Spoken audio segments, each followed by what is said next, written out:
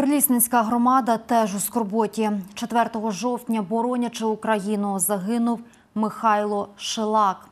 Героя не стало в селищі Новоселівка Донецької області внаслідок мінометного обстрілу. Військовослужбовець народився в селі Прилісне, проживав у селі Городок. У нього лишились син і донька.